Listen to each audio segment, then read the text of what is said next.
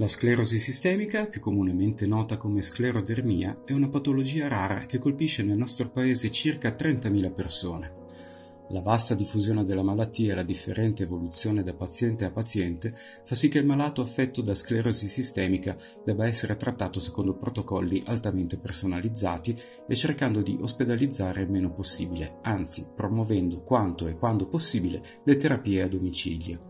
Per fare il punto della situazione e accendere una luce sul problema della sclerosi sistemica è quindi partita la campagna La sclerodermia è anche nostra, promossa da Gilles, Lis e Amrer con il contributo non condizionato di Italfarmaco. Si tratta di una campagna di informazione e formazione i cui contenuti possono essere fruiti accedendo al sito www.sclerodermia.info. Professor Matucci, può spiegarci che malattia è la sclerosi sistemica? La sclerosi sistemica è una malattia autoimmunitaria, considerata una malattia rara, ed è una malattia che colpisce all'inizio, nel momento in cui la malattia parte, i vasi, ma poi si trasforma e colpisce essenzialmente i tessuti.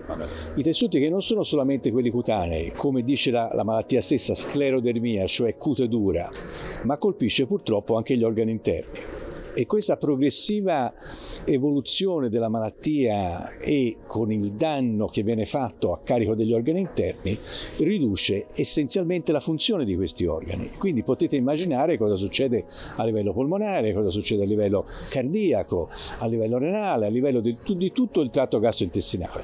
Quindi è una malattia sistemica, non è solamente la malattia della mano fredda, ma una malattia sistemica che toglie la qualità di vita ai nostri pazienti.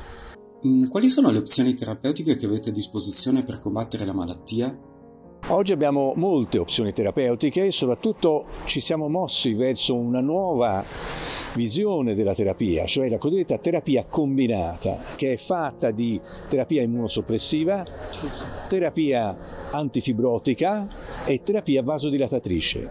Quindi sono tre componenti che sono le tre componenti fondamentali della progressione della malattia che noi oggi siamo in grado di controllare e di bloccare soprattutto nelle fasi più precoci per evitare che si arrivi alla fase del danno degli organi interni. È vero che il paziente affetto da sclerosi sistemica necessita di terapie molto personalizzate e se sì, per quale motivo?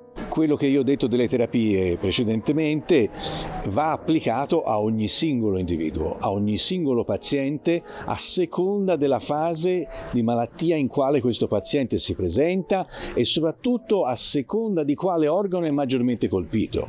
Per cui ci saranno alcuni assetti terapeutici che vengono utilizzati nella fase molto precoce, ma altri assetti un pochino più diversi che si applicheranno nella fase più avanzate e la combinazione dei farmaci farmaci, non, sol- non solamente la combinazione, ma il dosaggio dei farmaci e l'intensità della cura ovviamente sarà soggetta alla situazione sul campo che noi abbiamo.